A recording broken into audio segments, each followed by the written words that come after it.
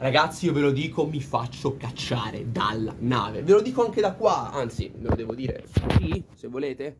Un video traballante. Lo facciamo e anzi, lasciami dei mi piace sotto questo video se vuoi vederli durante la crociera. In altri luoghi, in altri modi, però lasciami un mi piace se tu ad oggi un po' tutto quello che sta succedendo ti spaventa. Primo giorno di crociera, che succede? Delirio. Delirio Delirio totale, delirio totale perché abbiamo deciso così di metterli in un mercatino dell'usato i nostri giocatori. Chiesa. E non solo, perché Chiesa dici, alla lunga l'avevo capito, no? Primo giorno di crociera e già mentre mi imbarco a Venezia, cosa leggo? Chiesa, Nicolussi e Gialò fuori dalla lista dei convocati. Allora provo a pensare. Infortuni, provo a pensare.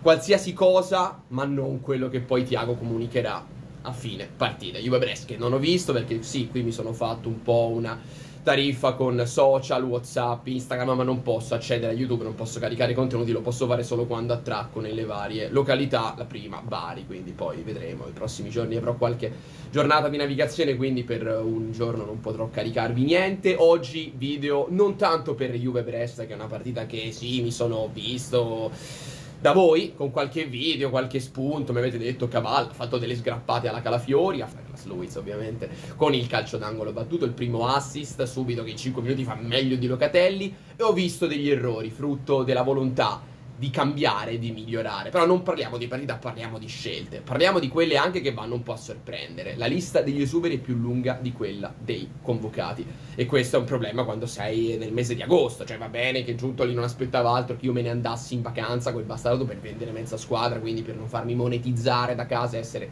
sul pezzo. Però ci sono delle sorprese. Nicolussi Gaviglia, per quanto mi riguarda, è una sorpresa, ok? Che è un giocatore che può andare a farsi un'esperienza in prestito perché l'anno scorso stare in prima squadra gli ha fatto male, non gli ha fatto giocare praticamente niente e sappiamo che il centrocampo sarà Douglas Luiz, che Fren Turam è probabilmente il prossimo acquisto. Voglio pensare questo perché se vendiamo tutti questi giocatori vuol dire che molti ne devono arrivare. Domande sulle tempistiche? Tantissime. A un'altra, Tiago Gialò, prima di arrivare a Chiesa che ne parliamo un attimo anche se sapevamo che la direzione sarebbe stata quella. Forse qualcuno ci sperava vedendo il post Instagram.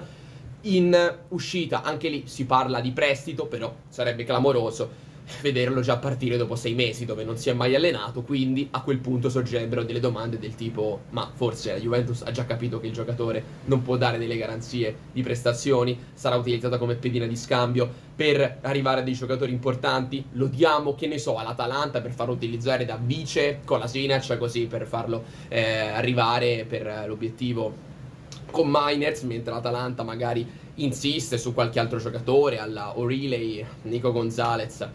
Più che altro questa mossa non la capisco perché ti va a far svalutare dei giocatori sul mercato. Nel senso, Chiesa tu lo vuoi vendere, ma se lo eh, metti in vetrina durante un'intervista post partita, quale prezzo ti aspetti? Io non so quale di questi giocatori tu avresti voluto tenere in rosa perché credi siano più forti di molti altri che rimarranno. Magari un Tiago Cialò lo reputi anche potenzialmente più valido di un Gatti che in due anni magari non ti ha convinto appieno, un Nicolussi rispetto a un Locatelli, un Chiesa dove alla fine in questo momento, anche se magari l'idea ce l'avevamo già fatta, il tempo stringe. Galeno ha segnato ieri una doppietta in Supercoppa contro lo Sporting Lisbona col Porto, continua a segnare, è il nome caldo il suo. Sono tutte queste domande ragazzi, ci sono queste domande che adesso faccio anche a voi nei commenti perché vorrei sapere un po', un po la vostra, perché l'amichevole è stata quella che è stata.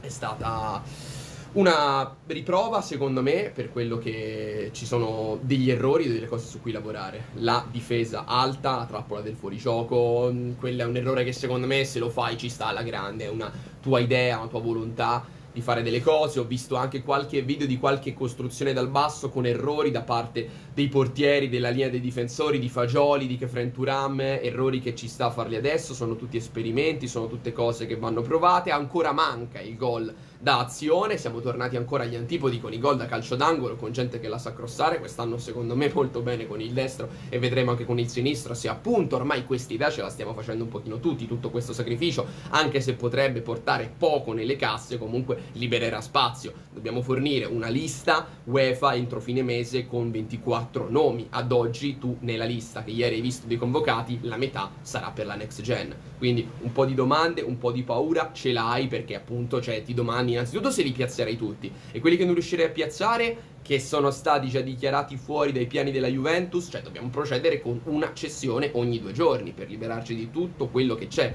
dal Kostic al Milik, ai vuoti che abbiamo sul campo. Normale che ci sia preoccupazione, è normale che ci siano dubbi perché ci sono tanti ruoli scoperti, c'è il ruolo scoperto del difensore centrale adesso perché comunque Todibo non va a riempire un ruolo. Danilo l'aveva voluto utilizzare a destra, manca l'esterno a destra. Credo che ieri UEA sia stato utilizzato a partita in corso ancora come esterno alto quando l'ho messo in campo. Non mi sono visto i cambi, ho sentito parlare bene di Mbangula, ma non credo a questo punto che ora Tiago Motta renda tanti Azic in mezzo al campo dei possibili titolari convocabili per la lista importante UEFA. Quindi serve fare tanto e mi chiedo io adesso con quali mezzi, con quali metodi, con quali prestiti. Cancelo, mi viene da pensare, terzino destro che tu hai citato, no? Qualche mese fa. E beh, adesso anche lui può ridiventare un nome che puoi rimet- rimettere sul... Cioè, I giornalisti sicuramente andranno fuori di testa con quello che è stato detto ieri dopo la, la, partita. E comunque io, amichevole, ancora non vado a dargli il giusto peso, perché comunque non vuol dire nulla vincere, l'abbiamo visto con Allegri, con Real Madrid, Barcellona, che poi è stato quel che è stato, è servito a quel che è servito, per poi insomma dimostrare dopo poco che poi bastava il primo Sassuolo che ti attaccava a campo aperto per andare gambe all'aria, per poi rivalutare tutto quello che volevi creare o come volevi giocare per ripartire da quello che aveva in mente Allegri. Tiago Motta su questo sono convinto che voglia creare una squadra dove si sta dando adesso tutte le colpe della scelta, della cessione di Chiesa, ma secondo me c'è un lavoro congiunto lì, cioè l'allenatore a una certa deve anche assecondare quello che poi è il volere di un direttore sportivo. Il direttore sportivo ti fa capire, guarda, io non lo voglio perdere a zero Chiesa, lo voglio vendere piuttosto anche a poco adesso, ma ci serve monetizzare. La situazione è quella che è, non ce lo possiamo permettere di fare come un tempo la Juventus si poteva anche permettere di fa di perdere a zero dei giocatori, dove per Allegri era la normalità arrivare a fine contratto, arrivare a scadenza e perderli, ma non è nella politica di un direttore sportivo sportivo come Giuntoli cercare di arrivare a queste situazioni senza cercare di porre un rimedio prima. Si vuole affrettare i tempi, si vuole subito rivoluzionare la rosa senza far sì che magari, come a volte succede, il nuovo allenatore vada a ricopiare la rosa dello scorso, dove spesso il primo anno in cui uno subentra non va a rivoluzionare così tanto, invece questa sessione di mercato sembra che vogliamo fare tutte le cose in grandi e faremo più operazioni di mercato di quelle che non abbiamo fatto negli ultimi tre anni, perché questo ci dice la logica dei numeri, dei colpi che faremo. Io ragazzi non so quante altre cose potrei dirvi, ovviamente qui fare un video non mi costa molto perché comunque sono quei minuti dove poi un po' accumulo dalle notifiche che leggo. Ieri, secondo me, questa è stata la notizia più clamorosa. A parte l'amichevole dove i gol subiti, sì, sono sotto gli occhi di tutti. Ci sono degli errori per l'uscita del centrocampista centrale che scarica sull'esterno. Devi migliorare la qualità in quelle giocate, in quei tocchi. Perciò. Io sono fiducioso su questo, e... però sono un po' ad oggi in alto mare, cioè la vedete, no? In alto mare, in alto mare totale non si vede la costa e in questo momento sembra che ci sia quasi qui il mare, qui niente. In questo momento la cosa della Juventus è un po' così, diciamo che il mare forse è il 30% e poi il resto è tutto totale oblio, il Valhalla, siamo nel nulla. Quindi ragazzi, eh, non lo so, qui dalla costa deliziosa è tutto, seguiranno aggiornamenti quando sbarcheremo in Grecia, perché poi non si fanno da sole Santorini, Mykonos e Atene. Insomma, non mi costa nulla, non mi arrabbierò fin troppo, però facciamoli lavorare. Ma normale avere dubbi, preoccupazioni, soprattutto anche un po' una riflessione del tipo aver fatto questa mossa ti porterà perdere o a guadagnare milioni dalle cessioni? Perché sì, tu li guadagnerai a forza di cederli, però è una mossa dove poi gli altri club sanno benissimo che tu non hai potere contrattuale in questo momento. È un po' come se tutto quello fatto prima Giuntoli lo volesse cancellare, un po' posso porre rimedio. Era così, le cose rovinate restano rovinate, le voglio togliere tutte.